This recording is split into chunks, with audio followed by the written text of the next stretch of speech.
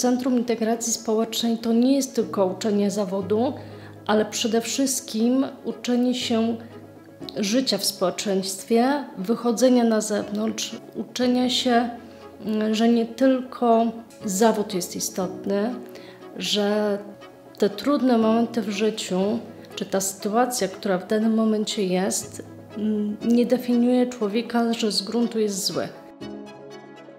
Są osoby, które podjęły terapię, mm, trwają w abstynencji, mm, podjęły zatrudnienie i są fantastycznymi osobami, ale gdzieś w trudnym momencie ich życia stało się tak, że nie były w stanie same sobie pomóc.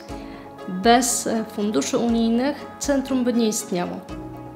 Centrum Integracji Społecznej to przystanek na drodze ku lepszej przyszłości. Lubelskie. Możemy więcej. Polub, podziel się, polecaj.